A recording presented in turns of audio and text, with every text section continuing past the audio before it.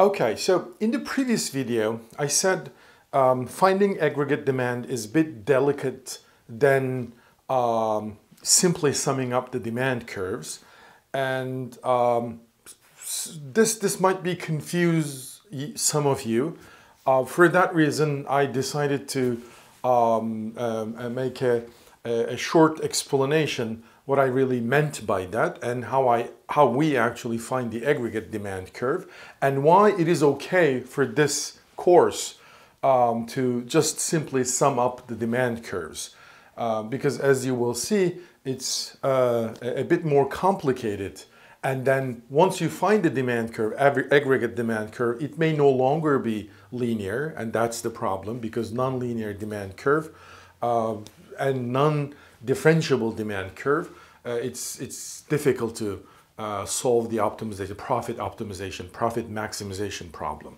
All right, so for that reason, um, it's okay to just add up the demand curves. Again, for this uh, intermediate microeconomics course. So I, instead of uh, the previous example, I decided to use these two uh, inverse demand curves because um, I just wanted to work something with integer, uh, you know, values rather than uh, non-integer. So here is the demand curve for uh, group 1, uh, inverse demand curve for group 1, and inverse demand curve for group 2. So first of all, in order to find the aggregate demand, we have to find the demand curves. Um, so from the inverse demand curve, we just take the inverse of it, meaning send uh, Q1 term to the left-hand side, and 20 remains at the same place uh, minus P1. All right, so the parenthesis Q1 is irrelevant because it means, oh, this is my function. Uh, the name of this function is P1 and it's, it's, it's a function that depends on the variable Q1. So, all right, so this parenthesis Q1 is just the characteristics in a sense of my function. So it's not, uh, it's not important when I do the, uh, this, this inversion. So uh, we always leave the uh, term on the left-hand side alone. So divide both sides by 4. Uh, I have Q1 equals uh, 20 divided by 4, which is 5. All right, so it's 5 minus P1 over 4. Okay, so that I want it to be um, integer. Good. So this is the demand curve for group 1 and then the demand curve for group 2. I just do the same inversion. All right, so 40 minus P2, therefore the demand curve for group 2 is 40 divided by 2, so it's 20 minus P2 over 2. Okay, so if you remember, we said, oh, the total demand, capital Q, which is Q1 plus Q2, so it's simply uh, 20 plus 5, 25, uh, minus, um, remember, when we find demand, demand is a function of price, P. So the, uh, and the uniform pricing, uh, meaning both group are going to pay the same price. So instead of P1 and P2, we are basically using P. So therefore this is P over 4 plus P over 2, all right?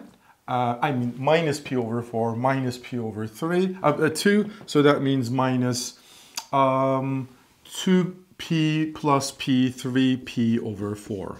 All right, so that's the demand curve. Let me rewrite it. Q equals 25 minus 3p divided by 4. Uh, I, we said this is the aggregate demand curve. Again, for this course, that's perfectly fine. However, the mathematically correct aggregate demand is the following. So aggregate demand, all right, is equal to um, the, uh, so aggregate demand is a function of P, obviously, all right. It's summation of two functions, but it's the summation of one function, which is max of 0, comma, um, 5 minus P1 over 4, all right, plus max of 0 comma 20 minus p um, I'm sorry there's no p1 p2 it's just p p over 2 all right so that's the aggregate demand. Yes, we add them up, but the thing is the demand will never be negative. All right, here we just ignore that. The demand is either zero, I mean, no one demands the good, or it's positive. So for that reason, for values of P where this term or this term is negative, well, then we actually use zero instead, not this term or that term, all right? So that means um, our demand curve is going to look a bit more complicated. So let me find that demand curve, all right, for the sake of argument.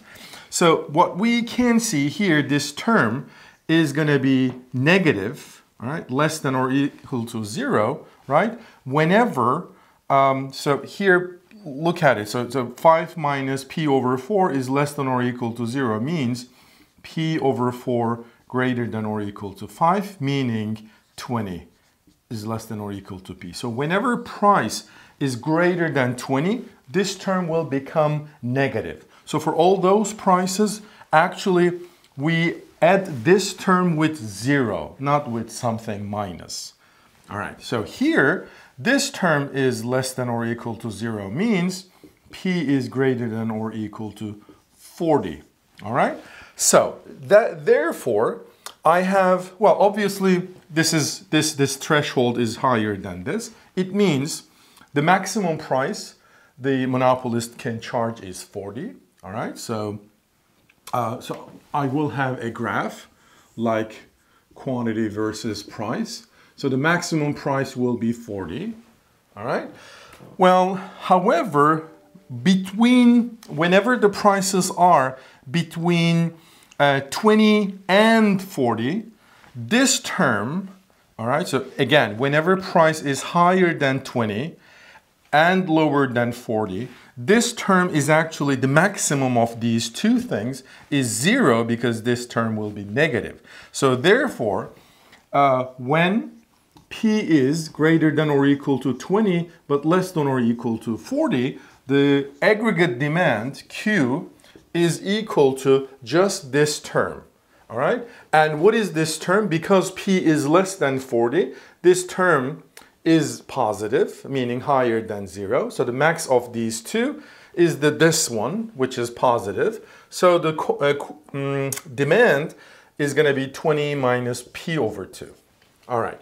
However, when P is less than um, 20 or equal to, doesn't matter, uh, but obviously price should never be less than zero. So whenever the price is in this range, well, clearly this term is still positive, right? So because this term is negative only if P is higher than 40, but P is less than 20. So this term is positive. So the max of zero and this, so, the, so this term is higher than zero. That means this term is equal to 20 minus P over 2. And this term, uh, 5 minus p over 4 is greater than 0, so therefore the max of 0 and that term is uh, 5 minus p over 4 itself. So we the aggregate demand is basically these two, which is 25. Uh, where is it? Okay, there you go. So total aggregate demand is 25 minus p over 4 minus uh, p over 2, which is 3p over 4. Exactly this. All right? So this part and this part are the same, but this simple summation ignores this part. All right? Okay, so when you want to draw this, it's going to look something like this. So let me draw this demand curve. So it's quantity versus price.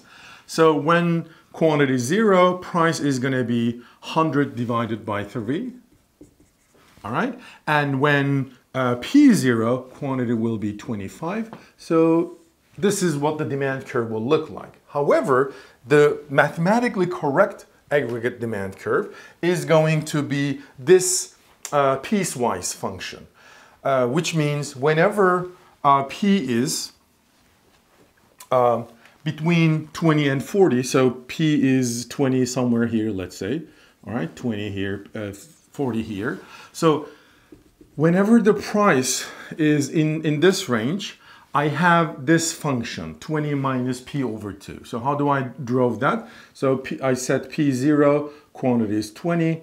I just need that and then just the intercepts and then whenever q0 p is equal to 40 so this is my function all right but obviously below the 20 for prices below 20 uh, those are not actual demands so therefore dot dot dot dot dot dot dot dot all right and then whenever I have a price less than 20 in this range uh, the actual quantity demand is this one, 25 minus 3p over 4. So let me again find the intercepts. P0 means quantity 25, so let's say this is 25. And when P, uh, Q0, P is equal to 100 divided by 3, which is around 33, I guess. So somewhere here, I don't know. So 100 divided by 3. So that means, oops, this way. Yep, but this function is only valid for prices less than 20. So in this part, it's dot, dot, dot, dot, dot. So that means, oh, by the way, these two functions will certainly intersect at this point where p equals 20, all right? Uh, because of the way we constructed it. You can check and verify nevertheless. So our actual demand curve is not linear, it's piecewise linear, all right? Something like this. Um, this is the mathematically correct aggregate demand curve. Obviously, we don't do that. Instead, we just do this and because it's simpler and finding the monopolist profit, solving the monopolist profit optimization problem with this demand is definitely more challenging than, I mean, it's not impossible, it's still possible, but more challenging than this.